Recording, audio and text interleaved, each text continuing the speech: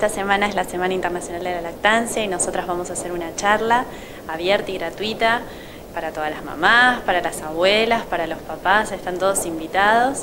Es una charla bastante amena, bastante tranqui, donde vamos a hablar sobre los inicios en la lactancia, donde vamos a explicar cómo hay que cuidarse, qué cosas necesitamos para pasar una lactancia efectiva y, sin dolor y sin molestias. La vamos a estar dando el este domingo 7 a las 15 horas en el Latino.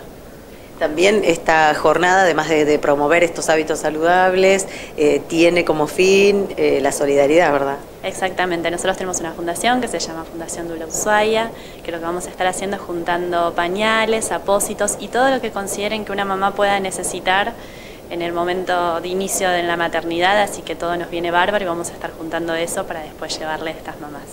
Recordamos entonces dónde se va a realizar, qué día y qué horario. Se va a realizar este domingo 7 a las 15 horas en el Latino.